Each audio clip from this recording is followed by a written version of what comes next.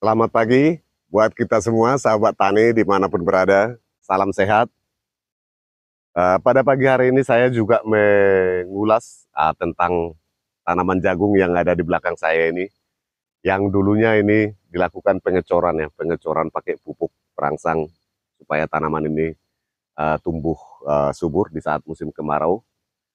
Dicampur dengan urea sama MPK, masukkan dalam tangki baru dicor untuk melakukan pemupukan ini. Inilah lahan yang tanpa dicangkul, langsung ditanami. Setelah dibersihkan gulmanya dibakar tipis ya. Nah, ini hasilnya. Oke, sahabat tani, semoga video ini uh, bisa memberikan masukan baru. Coba kita simak video ini. Bagaimana perkembangan jagung ini setelah di usia 30 harian pada saat ini ya. Oke, sahabat tani, inilah perkembangan tanaman jagung ini di usia 30 hari yang dulu dilakukan pengecoran ya, pengecoran pupuk, sekarang sudah dilakukan uh, penyemprotan hama. Oke sahabatku, oke oke, silakan duluan duluan, nanti saya nyusul. ya, nah ini sahabat saya lagi lewat ya. Oke, seperti inilah tanaman jagung ini. Uh,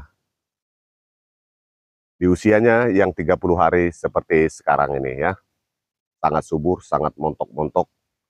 Ya, gulmanya sudah dilakukan uh, penyemprotan gulma ya, khusus untuk jagung ini. Bisa dilihat sahabat tani. Luar biasa memang ya. Inilah yang saya sebutkan itu bahwa kita semua harus sabar untuk melakukan penanaman walaupun musim tidak mendukung pada waktu penanamannya ini tetapi dia memberikan spekulasi uh, berani melakukan uh, terobosan, berharap hujan akan segera turun. Nah, inilah bisa kita lihat semua ya. Oke. Ini satu bungkus setengah lumayan ya. Sekitar hampir 3000 batang lah ya, tapi tidak sampai.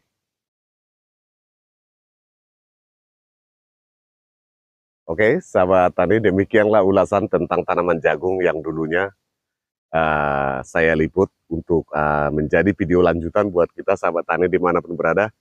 Uh, bagaimana perkembangan ini setelah dilakukan pengecoran, apakah memang terbukti dia bagus ketika turun hujan, ternyata saya bisa melihatnya buat kita semua lumayan ya, lumayan walaupun ada satu-satu yang kurang maksimal pertumbuhannya ya. Tetaplah berkarya, tetap semangat selagi kita masih diberikan kesehatan. Salam sehat, salam tani. Sekian,